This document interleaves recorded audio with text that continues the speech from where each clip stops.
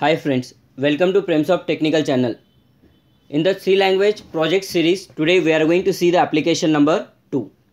In the last application, I explained you about how to find the nodes in the given amount. In today's lecture, I am going to start with the application 2 and in this I will explain you random number application. What is the meaning of this application? I will give you the 5 chances over here. You have to select the number it will check whether your given number is uh, match with the existing number or not. So like this we are going to create the application. So i will show you first what will be the output of this one and then we will design the program. So this is my quiz. Uh, it is asking me a number. So i am giving what? One number i am giving 4 so it is saying me try again. I am trying with the another number. I am giving 8 where my number is correct. Next i am giving what? 7 try again 5 try again. 9 try again. Means what? It is giving me the 5 chances and I have given the number. If it is correct it will sh uh, show me a message. Well done correct answer. Otherwise try again it will show you. So it will check how many numbers are correct among the 5 numbers. So like this we are going to design this quiz application. So we can design our own logic. So just I will tell you the program.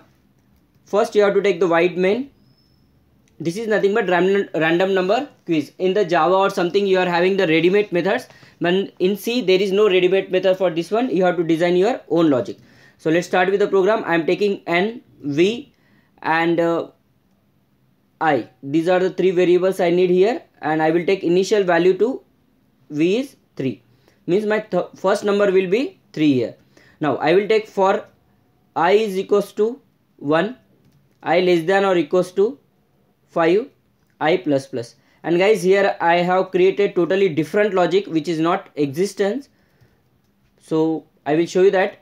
Enter the number. So I instead of that I will give percentile d chance nothing but first chance enter the number. Okay means it will show you the chances also enter the number. So next we have to read and we have to store this number into what? N.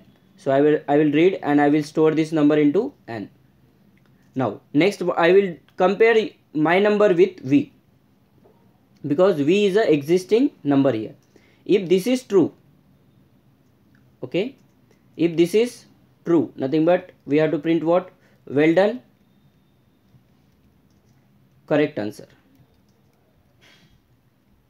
This is a, guys, we will change the V value every time so don't consider that it is a fixed value. It is not a fixed value. We will change it. I will show you how to change it.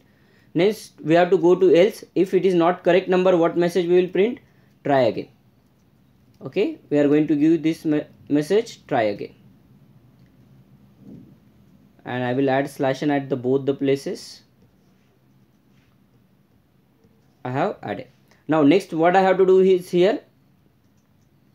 Here i will write what? V is equals to v plus n plus i. This is my logic guys. See my v is initially 3 3 plus suppose example if i give the next value is 4 3 plus 4 is 7 and i will be 8 suppose if this value is going uh, like if value is increased uh, about 10 so what will what we are going to do?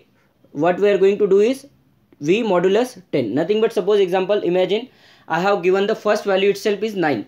So 9 plus 3 is how much? 12. So 12 plus I, 1 nothing but how much? 13. So 13 but we have to try the number from 1 to 10. I will mention that. Uh, here I will give you a message because that first message also we did not give. So I will write here quiz application random number quiz application. Okay? This is my application. I have given. And here I will give one more message that please enter number between 1 to 10 please select number between 1 to 9 1 to 9 because it is selecting only what? 1 to 9 numbers. So I have given this clearly. Now here that's why I have taken this condition. V modulus 10 suppose value is greater than 10 so suppose 13 13 modulus 10 will be 3 so v value again it will initialize to 3 so let's compile this application first. Go to execute. Compile. I will give the name random dot c. Okay? Now go to execute and run the program now. It is actually random number quiz application. Okay sorry here one mistake is i did not pass the n value here. So i will pass that first here i did not pass. Rest everything is okay. Just this i did not pass the i value. Now once again compile the program and run the program. Now see it is asking the first. So you have to remember guys it is your quiz so that's why you know the first number. Otherwise suppose example i am giving first number is 5 so try again it is not giving me the output. Now second number is 7 next number is 4 next number is 2 next number is 9 means my no number is match. But now we will go with the logics. So we will just execute and run. Now see first number is my 3 but i will not i will give enter 4 but as per our logic what is the our uh, logic is here. Next for next time v is equals to v plus v is 3 3 plus 4 3 plus 4 7 7 plus 1 8 so i will give what what here because my last number was 4 so that's why i added, added 4 now if i give the 8 value here see well done your answer is correct. Now for the next number also i will calculate.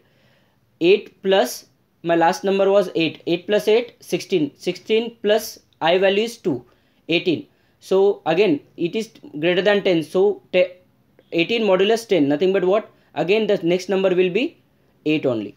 So see here 8 and next number will be 9 like this next number will be 2 so like this this output i got it because i have designed the logics. But imagine uh, believe me guys many people will not get this logic at least if they don't try for minimum 5 to 6 times. So you can change the logic every time and just you try to give this logic to your friends and let them try. So you will understand the exact flow of this program so i hope you enjoy enjoy this uh, program of random quiz. If still if you are feeling any doubts or any query you can just mail me or uh, comment me. I will reply on that one. Please subscribe my channel if you do not subscribe till now. Thank you for watching this video guys